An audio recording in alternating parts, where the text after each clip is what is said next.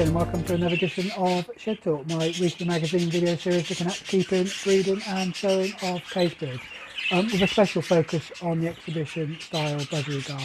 Well as the um, thumbnail and the description of this video suggests, um, we're going to be ringing the um, Fife. So what I thought I would do um, before we go out and have a look at me ringing um, those is um, just show you the difference between a split ring that we use on the Fife and the closed ring that I'm currently using on the budgerigar and I, I, might talk very briefly about the um, reason why I'm using those two different split rings or two different types of rings uh, in my shed. Right, so as I say, let's have a look at those rings. So here we are, then these are the two um, types of ring that I'm currently using. Um, and as you can probably see, um, we've got the split ring on the right, uh, this one here, and the closed ring on the left. Um, and I think the difference is fairly obvious. So the, the closed ring is, as it says, as it suggests, is uh, closed. So um, there is no um, opening on the ring other than the um, main ring. So a little bit like a ring you put on your finger. Um, the split ring on the other hand is um, uh, opened. So there is an opening here.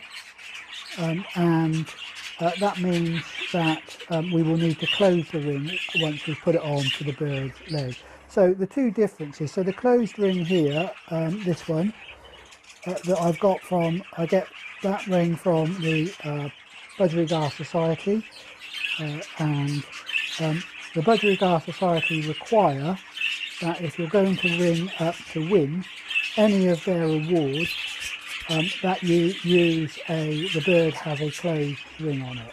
Um, and that uh, um, and for the um, young bird or breeder section, that closed ring must have the breeder's number on it. So as you can see here, uh, this particular ring does. It has my number on it.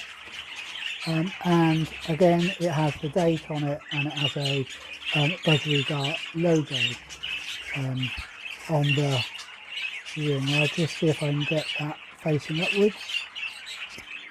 I'm hoping you can see that there is a um, I suppose, a, an outline picture of the Budgerigar's face on it. So um, that's the Budgerigar Society rings. Um, and you can see that both the two rings are the similar colour and that just represents uh, this year's rings, so 2024 rings.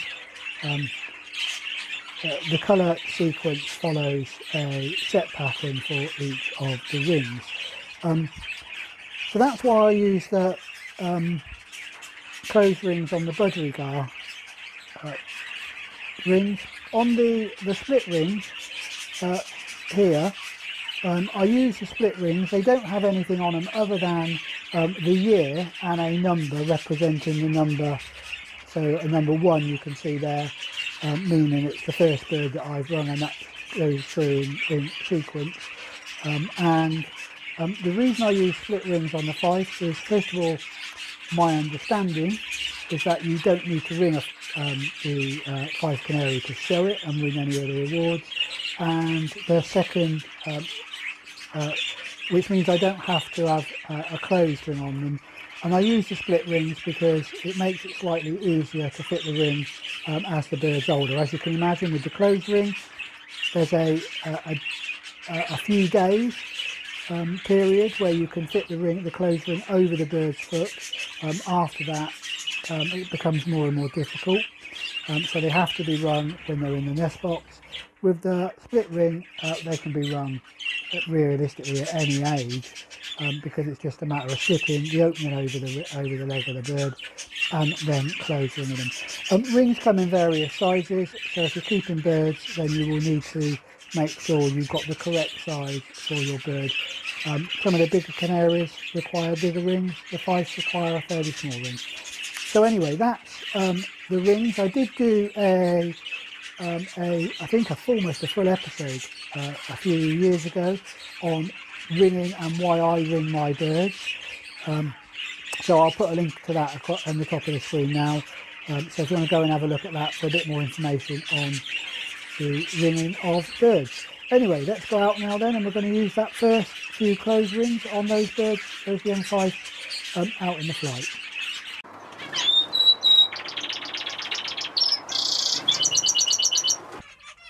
So here we are back out here in the um, outside flight looking at fifes from breeding to bench and um, as I said we are due to start um, ringing the four chicks. The four chicks are all doing um, really really well at the moment so they've all now jumped the nest they are all perching. I've not seen them picking up seed and feeding themselves yet but my expectation is that they are um, if they're not doing that already, they're very, very close to it. They do look very independent, much more independent than um, uh, than I seem to remember them at this stage last year. But I'm sure that's probably just my poor memory rather than um, uh, an actual fact. But yeah, so the so the birds uh, or the youngsters are doing really well um, in both the cages, both in terms of the original pair and um, the new pair that I've put down uh, have now rebuilt nests, um, which is good news. Um, there are no signs of any eggs uh, just yet, but I expect that, um, you know, my expectation is over the next couple of days uh, there will be eggs in in if one of the nests, if not in both, because like I say, both the hens have rebuilt, which is um, really good news. So what I'll do now then is I will show you how I ring the young Fifes using the split rings that we looked at earlier. So as you can see here, um, uh, I use a pair of, just a pair of long nose pliers, a small pair uh, of long nose pliers that I use to just pinch the ring together once I've got it over the bird's leg. Um, it's a bit tricky when you're trying to do this on camera.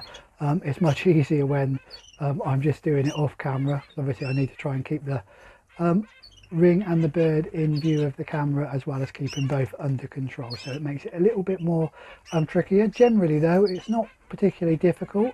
Um, the uh, just slip the ring over the leg and then um, pinch it closed.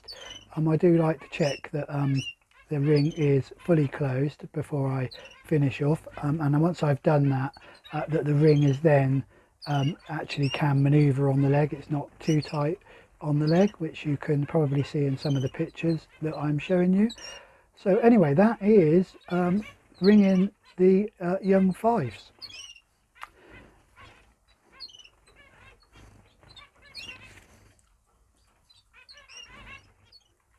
So that's a update on the uh, Fifes out here. What we'll do is we'll just pop back into the um, main budgerigar flight and have a quick um, update on the birds in there and how they're going and um, what pairs I've still got left and um, which pairs I have now managed to split up ready for um, that sort of break before the holiday period. Right, let's pop back indoors then.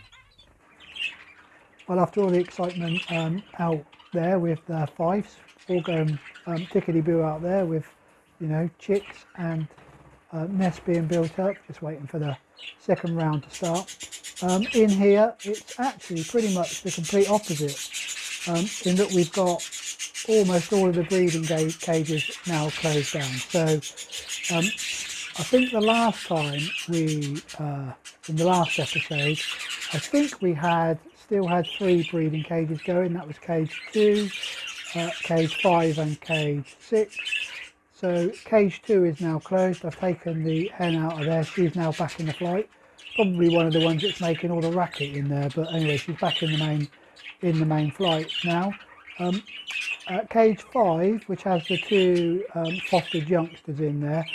Um, the youngsters are definitely feeding themselves, so I'm going to give it about another day um, and I'm going to remove the hen and she can go back in there and, and the two youngsters will go into the nappy flight um, for the time being. Um, and then finally we've got uh, cage number six which I'm a little bit uncertain about at the moment. So this is the Lutino.